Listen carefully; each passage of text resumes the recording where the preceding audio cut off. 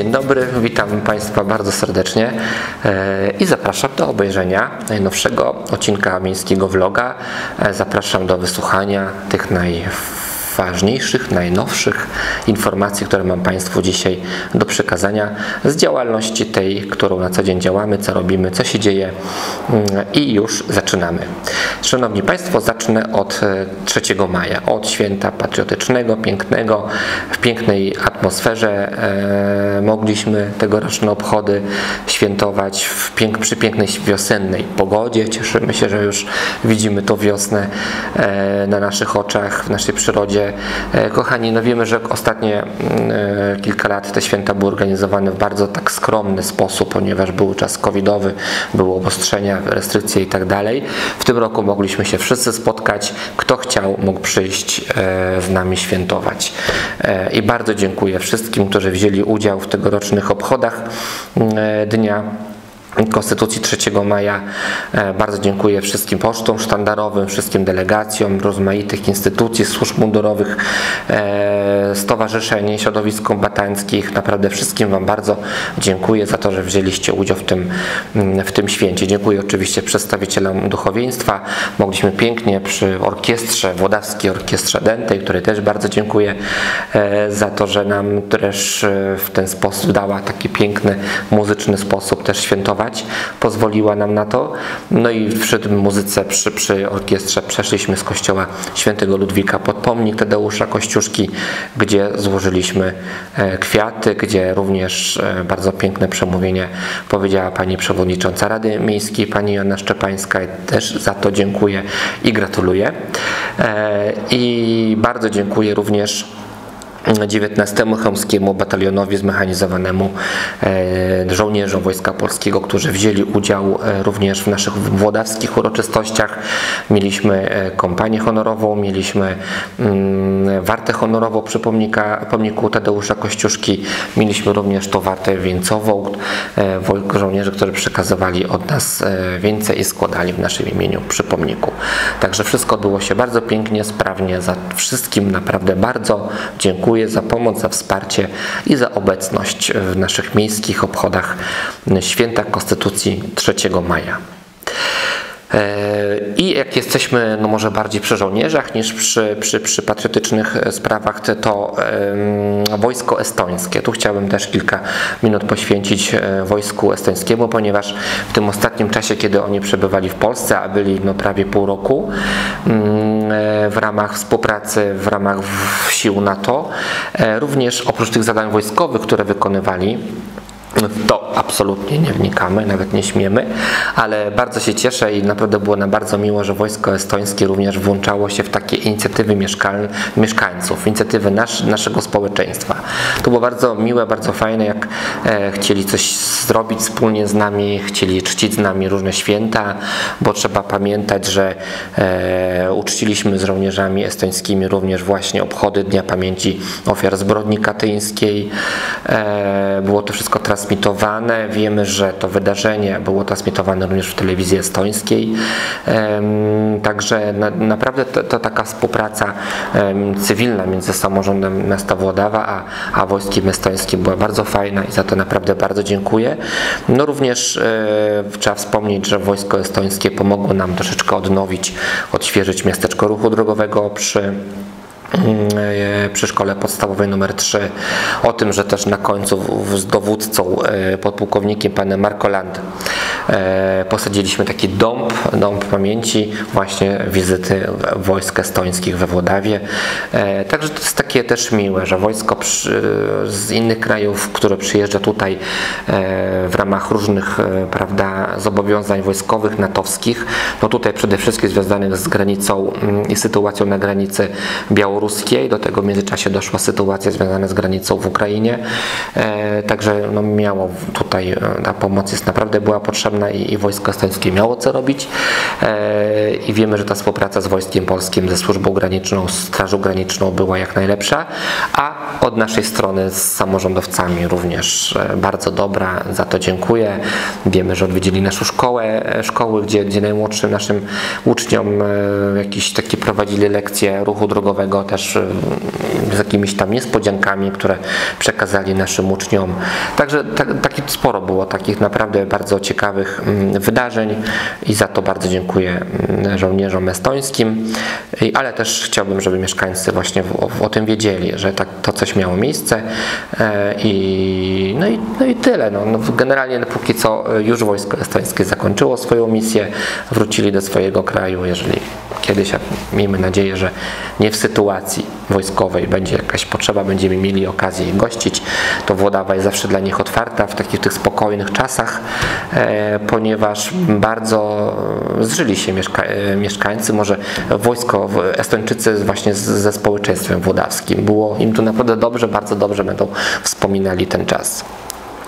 Szanowni Państwo, ławeczka Krystyny Krachelskiej. E, Włodawa e, ma kolejne miejsce, ciekawe miejsce e, pod kątem i turystycznym, ale też tym historycznym.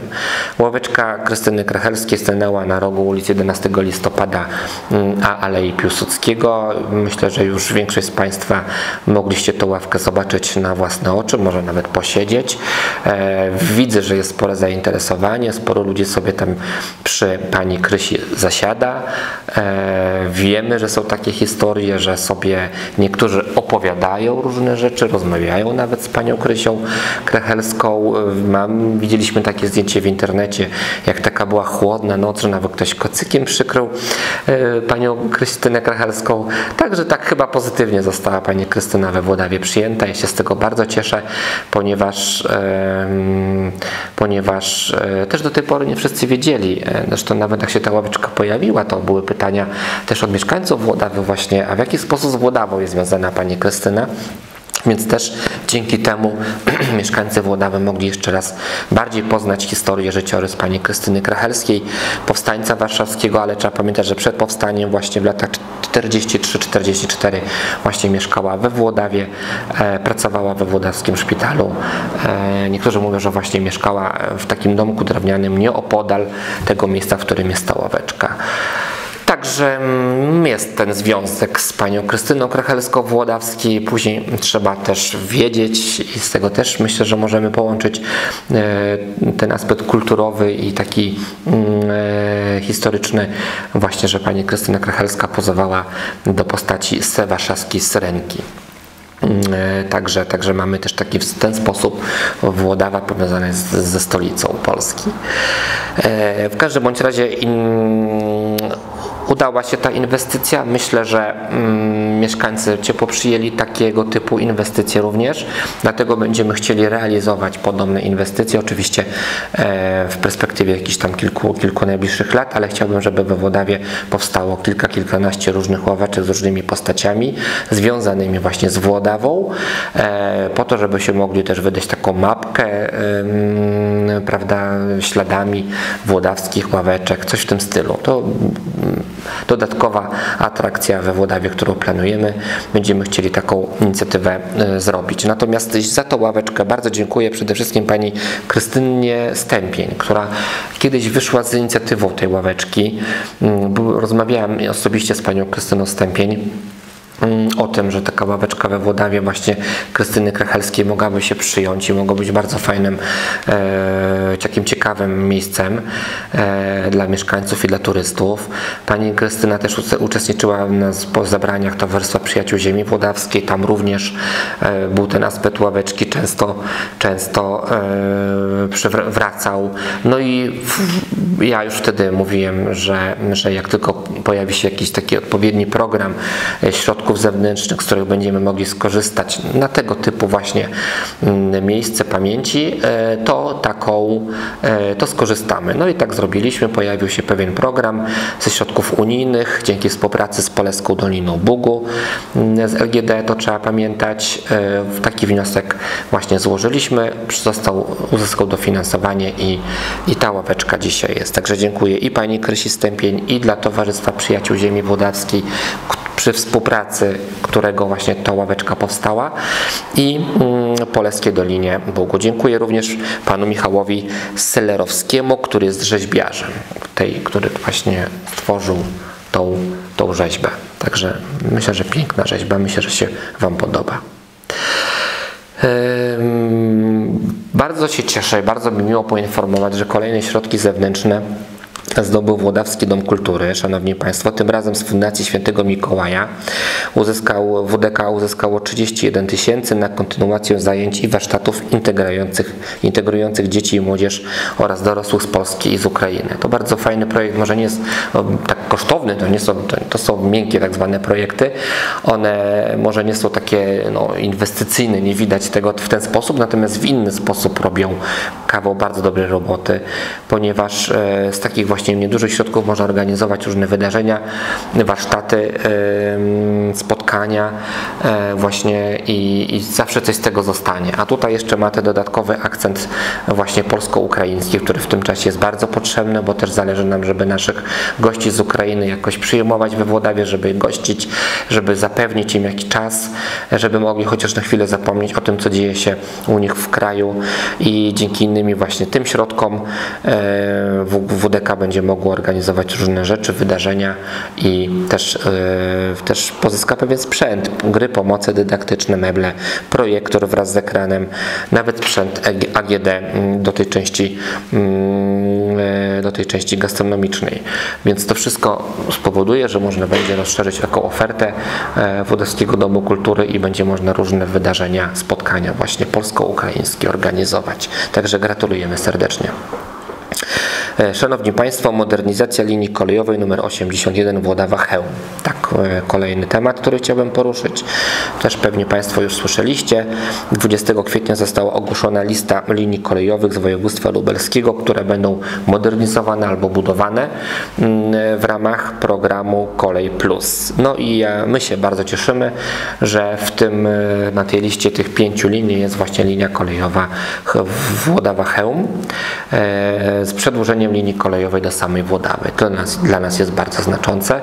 Po pierwsze zostanie zmodernizowana linia kolejowa pozwalająca na dużo szybsze mm, pociągi, jeżdżące pociągi z relacji właśnie Włodawa-Chełm. Do tego zostanie ta linia wydłużona do samego miasta Włodawa. Przewidziany jest przystanek taki kolejowy, e, stacja kolejowa o nazwie Włodawa Miasto i to będzie ten przystanek początkowy lub końcowy, zależy z której strony e, patrzeć. Dla nas to będzie zawsze przystanek początkowy, z którego będziemy mogli e, koleją po prostu wyruszyć i liczę, że nie tylko do Hełma, a myślę, że zdecydowanie też dalej. Marzeniem takim jest to, żeby e, z Włodawy wyjeżdżały pociągi dalekobieżne do inne części naszego kraju. To jest naprawdę możliwe, ponieważ często pociągi dalekobieżne wcale nie ruszają z miasta typu Lublin czy Chełm, ale wyruszają właśnie z tych powiedzmy najdalszych, najbardziej oddalonych stacji kolejowych, tak? Dlatego mamy relacje pociągów, na przykład Chrubieszów, gdzieś wiem, że w stronę Śląska jeździ taki pociąg, dlatego mieliśmy pociągi typu e, Dorochusk i dalej na zachodnią część Polski przez właśnie Chełm Lublin, więc mam nadzieję, że taka, taka e, taki pociąg, a może o nazwie Włodawianin, kto wie, będzie kiedyś jeździł z Włodawy właśnie do w inne części naszego kraju. No, nie ma co ukrywać, że to jest bardzo ważne dla miasta pod kątem turystycznym, pod kątem rozwoju naszego miasta. Myślę, że nie, naprawdę tutaj nie, nie ma sensu chyba długo tłumaczyć, każdy to chyba rozumie, jak bardzo kolej wpłynie pozytywnie dla naszego miasta, dając możliwość pozyskiwania i większe możliwości, czy da wzmacnia nasze walory pod kątem właśnie też pozyskiwania potencjalnych inwestorów, e, ale również e, tych turystycznych, podróżnych, którzy do Włodawy będą mogli przyjechać.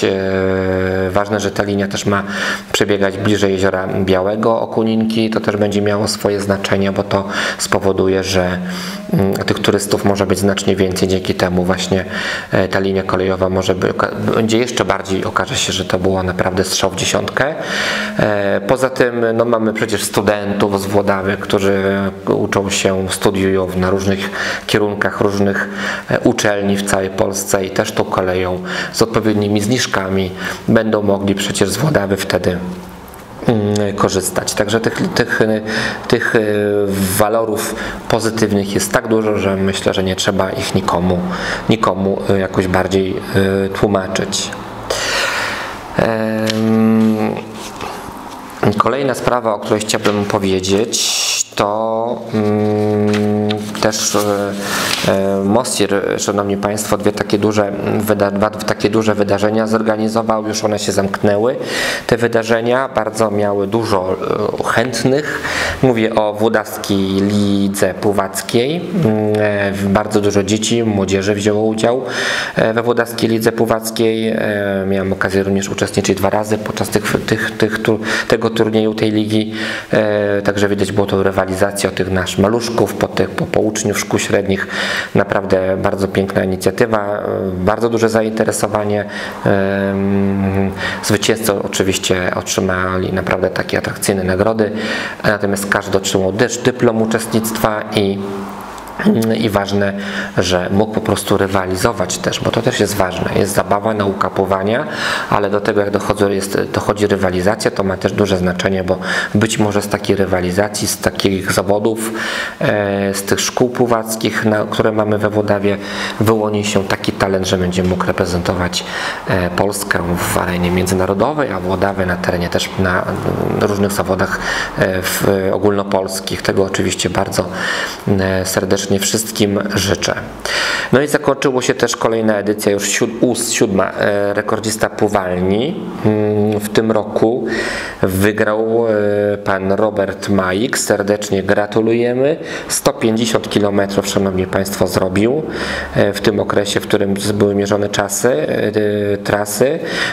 Dystans ponad 100 km przepłynął pan Tomasz Pawlik i zdobył srebrny super, tytuł srebrnego superpływaka. Także gratulujemy naprawdę serdecznie.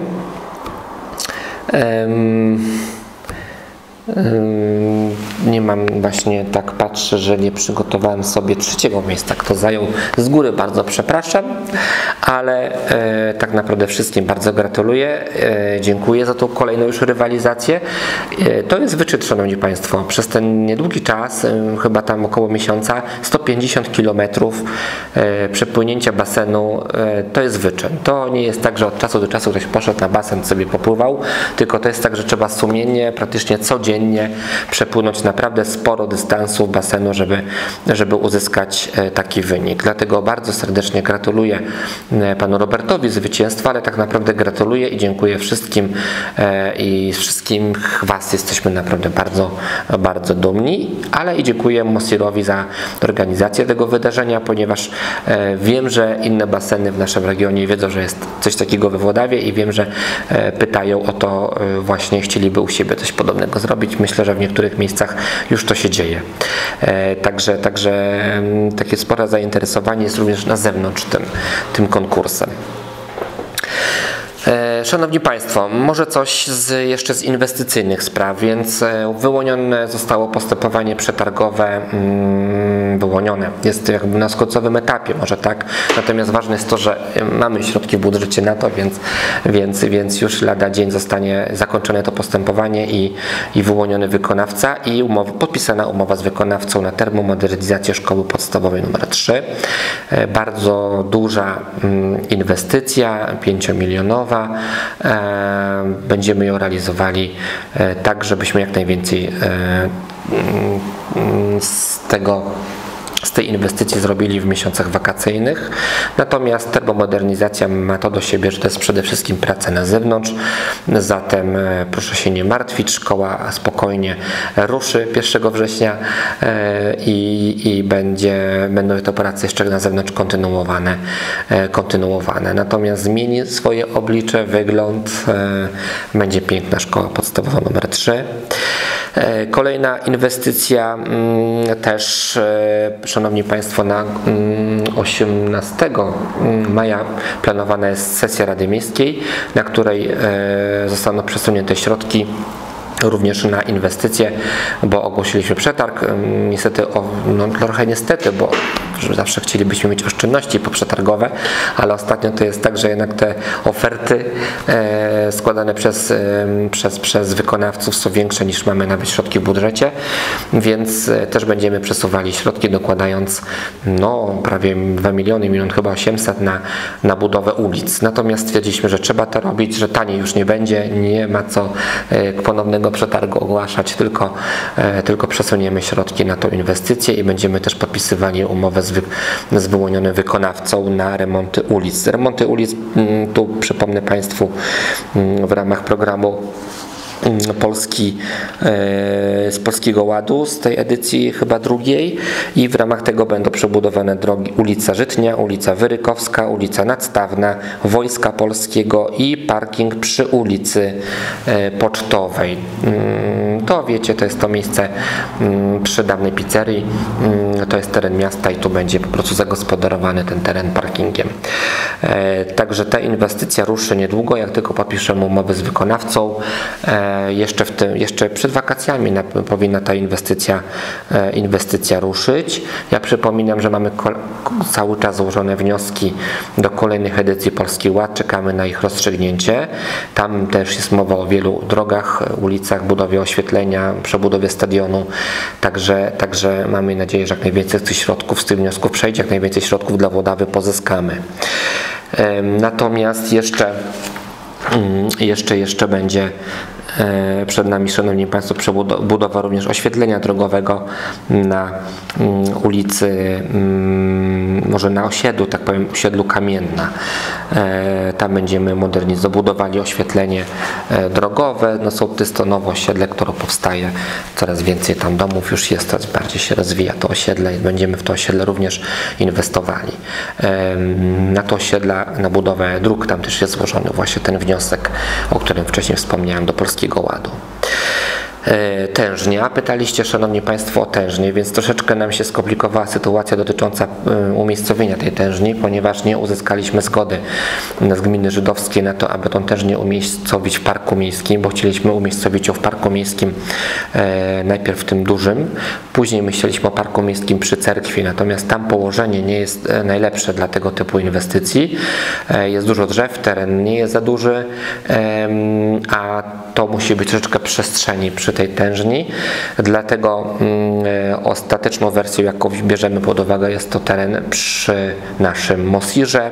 Tam jest sporo terenu do zagospodarowania za halą, za basenem, tam jest siłownia, miejska, tam są te korty tenisowe, prawda, jest y, Orlik, e, także, także myślę, że jest to ciekawe miejsce też do takiego spędzania wolnego czasu, również właśnie do tego czasu, do tego, e, do tego, aby sobie spokojnie, z daleka od dróg, e, w miarę w ciszy, spokoju. Wiemy, że mamy w tyle ogród pauliński, więc też będzie piękny widok, piękne miejsce i tam ta tężnia nam się na pewno wpisze e, w ten klimat i będziemy, będzie można spokojnie tam sobie usiąść, odpocząć, powdychać tego świeżego powietrza, mm, z, które, które daje taka tężnia do poprawienia dróg oddechowych. To jest bardzo zdrowotne, bardzo zdrowe, także, także myślę, że też będzie przez mieszkańców bardzo uczęszczane. Powiem jeszcze o skateparku, Szanowni Państwo, ponieważ nie rozstrzygnęliśmy przetargu pierwszego na skatepark. Najniższa oferta, jaką, jaka została złożona, właściwie jedna, to mm, ponad chyba milion dwieście więcej od e, środków, które mieliśmy w budżecie i tutaj postanowiliśmy w związku z tym jeszcze raz rozpocząć procedurę przetargową.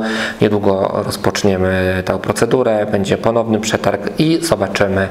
Mm, być może e, zgłoszą się oferenci, którzy będą chcieli taniej e, skatepark zrobić. E, być może rozłożymy etapami tą budowę skateparku na, mm, jeżeli nisko uda nam się w tym roku, to część prac zostawimy na przyszły rok, ale tak chcemy to zrobić, żeby ta część główna skateparku mm, betonu, prawda, to wszystko, co jest główną częścią skateparku, żeby stanęło jeszcze, jeszcze w tym roku.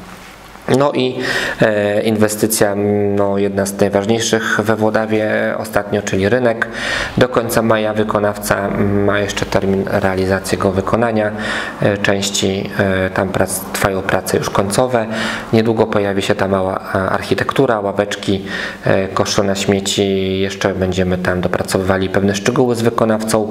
Natomiast trwają jeszcze ostatnie prace przy fontannach, bo też o to pytacie, kiedy ruszą fontanny, więc fontanny te są bardzo połączone z sobą, bo fontanna właściwie ta Dry Plaza, której test robiliśmy chyba w listopadzie czy pod koniec października, które tak ciepło przyjęliście, mogłaby formalnie działać, natomiast ona jest połączona wszystkimi tymi technicznymi połączeniami z tą drugą fontanną, fontanną Trzech Kultur, dlatego jeszcze nie odpalamy tej fontanny Dry Plazy, tylko dopiero jak będzie gotowe to wszystko zainstalowane, instalacja będzie gotowa, będzie to możliwe, wtedy ruszą również nasze fontanny, a powiem, że ta fontanna Trzech Kultur e, będzie to fontanna jedyna taka mm, w, w świecie, fontanna Trzech Kultur typowo włodawska, więc, więc będzie unikatowa i to jest też bardzo e, w moim przekonaniu cenne i ważne. I tak sobie zerknę chyba z tych rzeczy, które przygotowałem, to jest praktycznie wszystko, ale mówię praktycznie, ponieważ została nam część poświęcona pomnika. E, więc, Szanowni Państwo, odnośnie pomnika, e, wiemcie już, że ruszyła ankieta. Zachęcam do e, udzielenia głosu w tej ankiecie, do wyrażenia swojej opinii. Ankieta trwa do 16 maja, więc niedługo. 10 dni daliśmy mieszkańcom Włodawy na tą właściwie decyzję, opinię, może tak w sprawie decyzji, co dalej będzie z pomnikiem. No i tak jak już niejednokrotnie o pomniku mówiliśmy, E, stwierdziłem, że najlepsze będą dwa pytania. Pytanie jedno, czy po prostu pomnik zostaje taki, jaki jest, oczywiście byłby wyremontowany, czy nastąpi zmiana całkiem pomnika, czyli w to miejsce stanie drugi pomnik. Uznałem, tak jak napisałem w tym liście takim przewodnim do, do ankiety, do, do tego badania ankietowego, że e, w tym miejscu naprawdę e, fajnie by było, jakby zostało jakieś miejsce pamięci. Jest tam na to sporo miejsca, e, może tam się odbywać w przyszłości bardzo dużo różnych wydarzeń, ale nie tylko takich typu Dni Miasta, ale również właśnie patriotycznych, a nawet różnych wydarzeń czy spotkań organizowanych przez wojsko.